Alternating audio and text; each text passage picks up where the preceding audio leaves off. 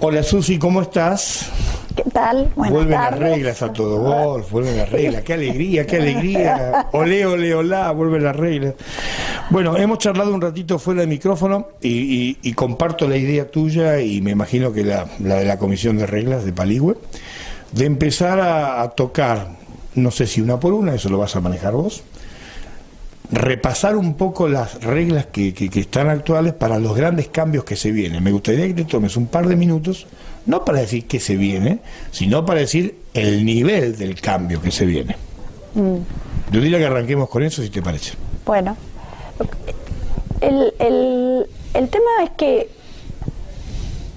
mm, no solo van a cambiar algunas reglas que implica cambio de procedimientos, o sea, de forma de hacer las cosas, sino que van a cambiar otro montón de cosas. O sea, Correcto. ¿Cuándo es ese cambio? en, en el- en la, la entrada en vigencia Sí. de, de todo lo nuevo Sí. es el primero de enero del 2019. 19. Sí. Bien. Sí, pero es- esta gente hace las cosas con mucho tiempo. No, no, seguro, está muy bien. Este año ellos están, 2017, están recopilando opiniones. Hay un borrador, que lo tengo ahí. Este, hay un borrador del nuevo libro de reglas y hay una, eh, digamos, ahí eh, están en una fase de recopilación de opiniones de diversas, eh, digamos, a diversos niveles. El año que viene ya va a ser un año como de instrumentación, o sea, como más, si bien no van a estar en vigencia, van a dar algunos pasos como para ir testeando qué va a pasar si empezamos a hacer las cosas de otra manera. Bien. ¿Eh? Eh, ¿Va a haber cambios en, en reglas eh, fácil de aplicar o van a ser cambios muy raros? no, justamente una de las cosas que ellos buscan es que todo sea menos raro. Bien, está bien. o sea, que sean en algunas cosas más simple. Uno de los motivos que tienen eh, es que justamente quieren que se trate de jugar más rápido. Bien. Entonces, al hacer un esfuerzo en volver más sencillos algunos procedimientos, eh, se, se perdería menos tiempo. Eso es bueno. Es decir, planteado No, no, así es no, no, bueno. es que ese es uno de los objetivos. Eh, ¿Te complico si te pido un ejemplo antes de hablar de una regla puntual? Un ejemplo entendible por todo tipo de hándicap. por ejemplo, eh, Como para que la gente vea a qué apuntamos. por ejemplo, eh, uno tiene cinco minutos para buscar la pelota perdida. Perfecto. Eso es entendible. Bajar el tiempo. Apa. Apa. Eh, Sin saber el número todavía. no, no lo voy a decir. No, pues está bien, pero bueno, pero eso sería un cambio. Sí, es menos tiempo. O sea, son ha- hay algunos cambios que apuntan a que uno pierda menos tiempo haciendo algunas cosas. Correcto. Ese sería un ejemplo. Ese sería un ejemplo. Que es entendible por todo hándicap. Sí, después hay cambios en las definiciones. En realidad, ca- casi todas las herramientas, no las reglas, las herramientas que nosotros usamos van a cambiar. Por ejemplo, el nuevo, el nuevo libro de reglas realmente no tiene nada que ver en su redacción, en su estilo de redacción, con la, el- la forma que tenían todos los libros de reglas anteriores. Está escrito con otro estilo. Para bien. más amigable, Ah, bien. más, No tan complicado. más intuitivo, Ajá. más tratando de sintetizar la información de una forma clara. Eh, Pero entonces, en definitiva, ¿hay un cambio de regla o hay un cambio de información? hay un cambio de reglas, de algunas, ¿O hay un cambio de cómo se y difunde? hay un cambio en la forma De la aplicación. de, no, en la forma de dar la información. Por eso, de cómo difundirla. Eh, y los y van a cambiar también eh, el, el tipo de, de vehículos que uno usa, ¿me entendés? O sea, por ejemplo, el libro de reglas va a haber un libro de reglas completo que incluye va a incluir parte de las decisiones del libro de decisiones. El del libro de decisiones, por lo que he estado leyendo, va a dejar de existir. Y va a haber un manual. Entonces, ¿me entendés? Pues yo estoy dando ejemplos, pero, Ah, pero es la forma es la forma de transmitir la información para que sea más fácil para, para los jugadores eh, entender esa información y, y, aplicarla. Y todo esto que, que, dijiste en dos minutos, ¿en qué porcentaje de reglas estamos hablando?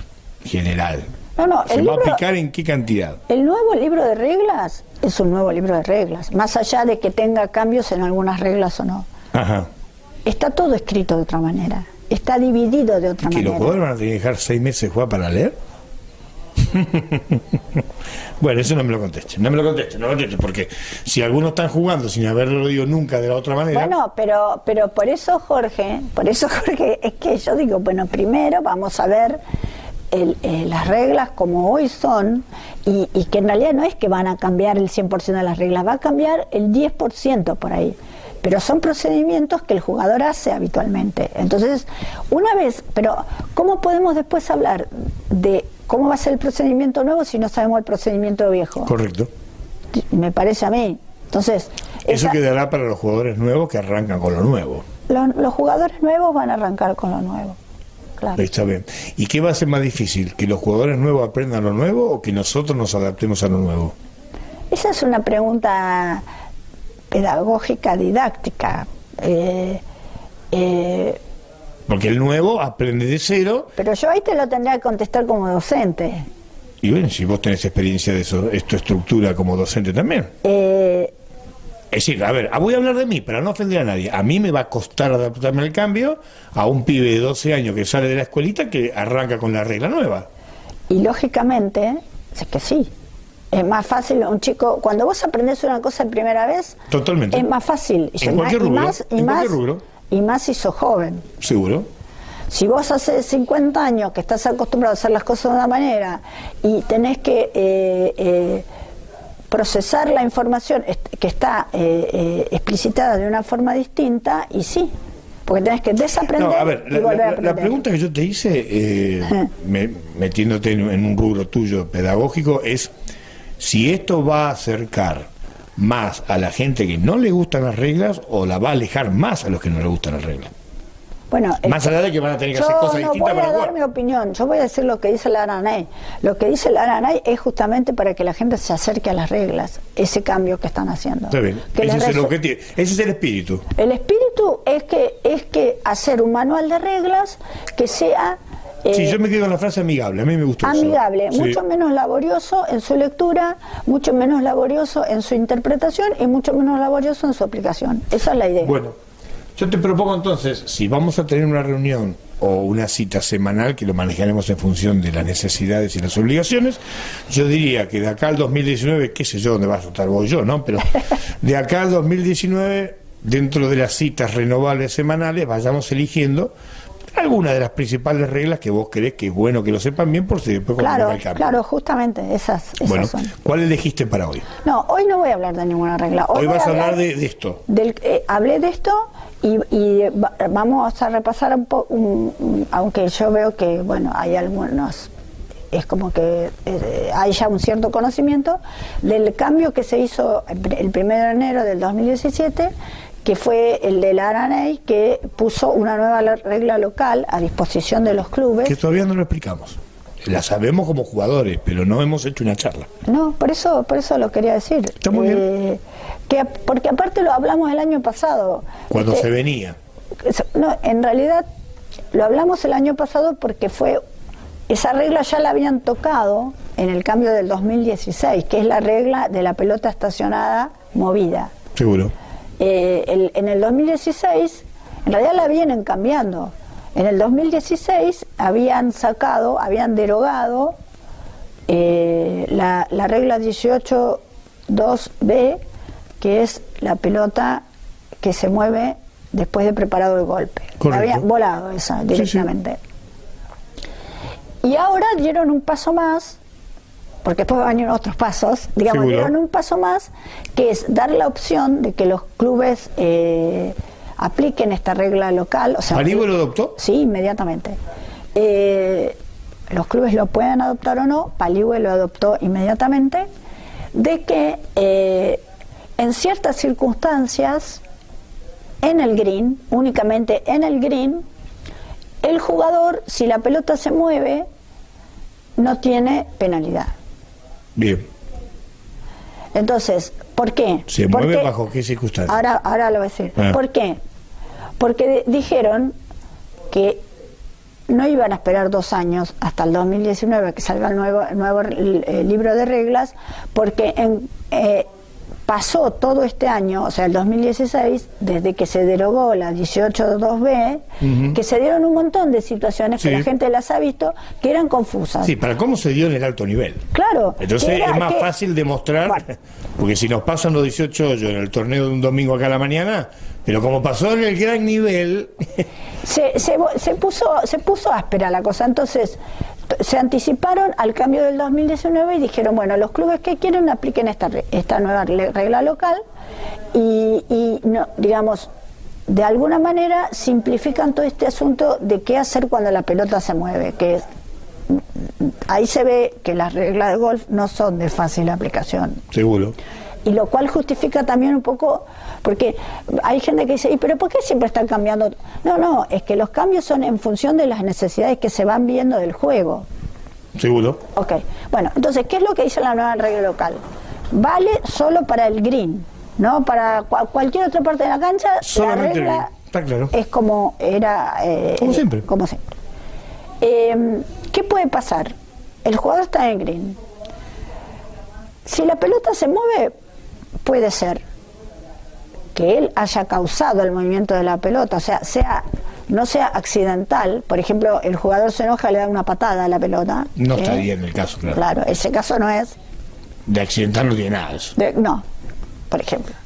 Eh, o, o la levantó y no la marcó porque estaba distraído, qué sé Sí, yo. sí, O, o se vino una marca pegada a la mano. Eh, entonces, sí, pero eso es- podría entrar en accidental, habría Sí. que ver la situación. Pero yo estoy hablando de lo que es intencional. Sí, sí. La levantó y no la marcó, porque se olvidó. Buah. Entonces, ahí la- el jugador la tiene que reponer con un golpe de penalidad. Bien. ¿Qué es lo que dice la regla local? Que si es accidental, por ejemplo, eh, se le cae el marcador de pelota eh, porque no se dio cuenta se le cayó y movió la pelota, El pate. ¿sí? O estaba, pater. o estaba, claro, se le cae el pater, o estaba preparando el golpe y sin darse cuenta la tocó la pelota. En esas situaciones que son accidentales, el jugador tiene que reponer la pelota, pero no tiene penalidad. Solamente en el green. Solamente en el green.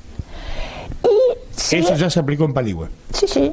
Y sigue válido lo que también, esa excepción que metieron ya también hace algunos años, de que si la pelota en el green se mueve por causas naturales, le hace viento, agua, gravedad o lo que sea, Sí. se juega desde donde fue a reposar. No se repone. Es decir, ¿dónde quedó? ¿Dónde quedó? Después que se movió. Sin penalidad y no se repone. Esa es la, lo- la excepción de que no se repone al sitio, sino siempre hay que reponerla Seguro. con un golpe de penalidad o sin un golpe de penalidad. Perfecto. Bueno, Susi, Así quedaron me las encanta cosas. lo que tenemos planeado para el futuro. Ah, bueno, qué suerte. Sí. eh, Esperemos que cuando los me dijiste jugadores- 2019, medio que, upa, 2019, no sé. No falta tanto, falta un año y medio. Es una enormidad para las reglas eso. Pero está bien que lo sepa la gente. Eh, no es una enormidad, porque en realidad el, el, eh, yo creo que el cambio no va a ser muy fácil. Entonces, no, seguramente que no. Entonces que uno lo vaya sabiendo, lo vaya masticando, o sea, es, es mejor anticiparse que después eh, me quedo, con me la quedo con la frase de que esto apunta a que sea más amigable, no complicarle la vida al jugador. No, no, es que el cambio es para que sea más amigable, Nos vemos la semana que viene si Dios quiere. si Dios quiere. Gracias.